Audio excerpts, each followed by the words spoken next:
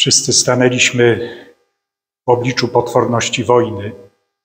Inwazja rosyjska na niepodległą i suwerenną Ukrainę przynosi ze sobą zniszczenie i śmierć.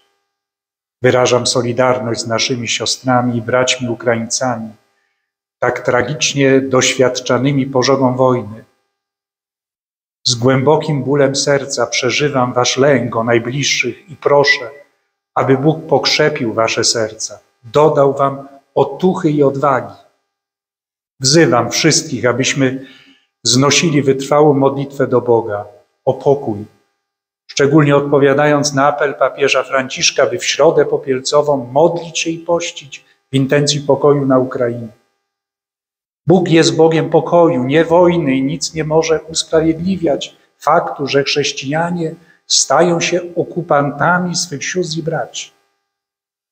Modląc się i poszcząc, chcemy też nieść konkretną pomoc, zwłaszcza poprzez zbiórkę w naszych kościołach już w najbliższą niedzielę i w środę popielcową. Będzie ona potem świadczona poprzez Caritas i poprzez zespół pomocy Kościołowi na wschodzie. Już dziś otwórzmy też nasze wspólnoty, nasze rodziny, ale nade wszystko nasze serca dla tych, którzy będą uciekać przed wojną, a u nas szukać bezpieczeństwa i schronienia.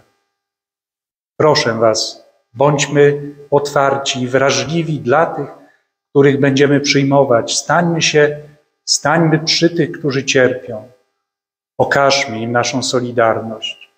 Okażmy naszą jedność z umęczonym przez sowieckiego okupanta narodem ukraińskim. Bądźmy blisko naszych sióstr i braci.